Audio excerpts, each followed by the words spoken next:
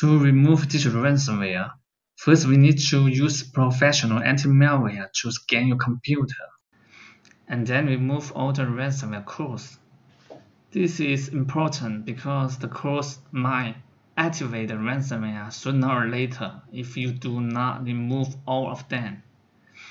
So we are going to use Spy Hunter 5 to scan your computer. Open the video. Click the link and video description and you will get a page. Now you can download Spy Hunter here. and run the installer. Now you need to follow its steps to install Spy Hunter 5. Select language and continue and accept and install. Just wait about one or two minutes. When you finish, start a scan now. It will help you find out all malicious files and malware on your computer. When the scan complete, click Next.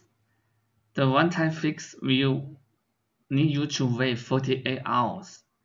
If you want to remove all the detected malware now, you should choose free trial. It will solve all your problems. Once your computer is clean and protected by anti-malware, you can try some free decryption tools on Emsisoft and No More Ransom. Let me show you how to get the decryption tools. Now open the page where you download Spy Hunter 5 Scroll down to step 4. Now you can see the link for Emsisoft and the link for No More Ransom. First, let's open Emsisoft. Here, you need to upload the ransom note, the encrypted file here, and then input the ransom contact information. This is in the ransom note. Let me show you. Here is the ransom note of ransomware. Okay, copy the contact here and input and paste it in here and click upload. Okay, you now the Emsisoft have identified the ransomware is stop DJVU ransomware.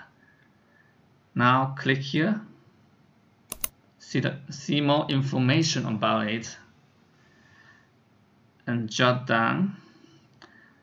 Here are some decryption tools for the ransomware. You select one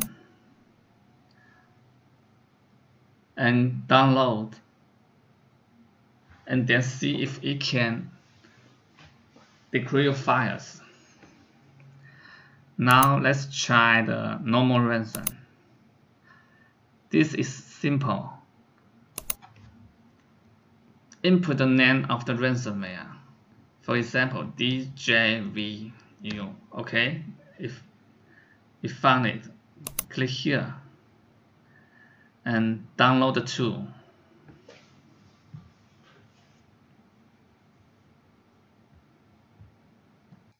That's all. Thank you for watching the video from easysolvemalware.com. We hope it solves your problem.